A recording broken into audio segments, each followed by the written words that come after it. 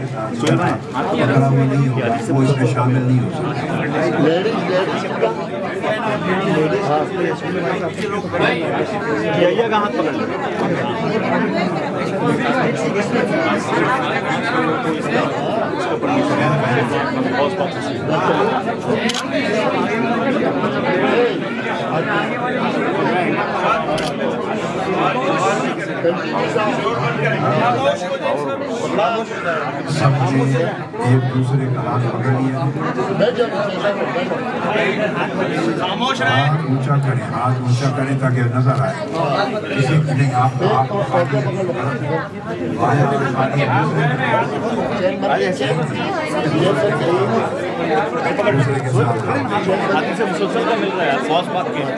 तीन इसमें तीन आपको मिल दोनों हाथ पकड़ लें, दोनों हाथ पकड़ लें। आयशा पकड़ें। पकड़ ले। ये ये पकड़ लो बेटा। बापू। जी जी। जी जी। वातिन भी आपस में हाथ जोड़ बापू हाँ।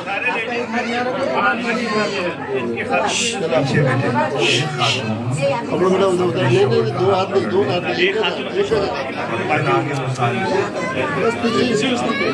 आगे मुसाफिर नंबर हो गया आप खामोश रहे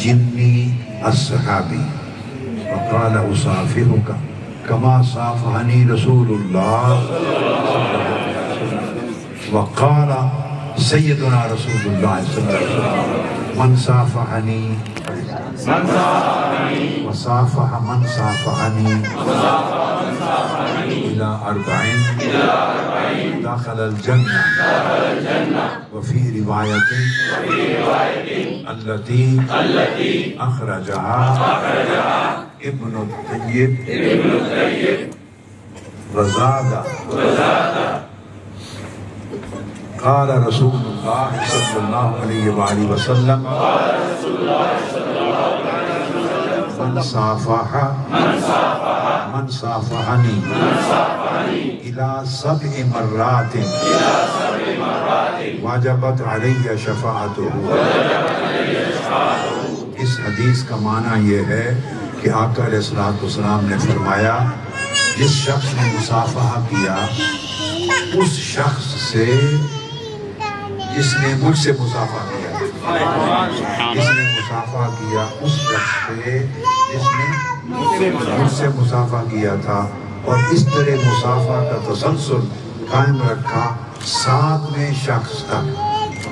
कितने? सातवें शख्स तक।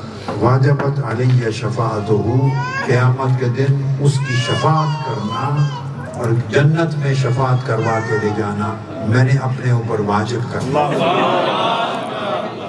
आपको मुबारक हो। मैं इस हदीस में रिवायत और हदीस एक मुसलसल बिलमुसाफा में, आका सलाम से तसलसल मुसाफा इस चेन में मैं पांचवा आकर इस्लाम ने बिशारत दी सातवें तक आपने आज मुसाफा किया, मुझसे और उस दौरान हदीस सुनी आप छठे आदमी हो गए। उस अदद के अंदर दाखिल हो गए जिनकी शफात आकर इस्लाम ने इस हदीस के मुताबिक इशाद कहा गया कि वो उसको मैं अपनी शफात उस पर वाजिब मुबारक हो आपको मुबारक। इस मिनहाजुल कुरान के काम को मजबूती से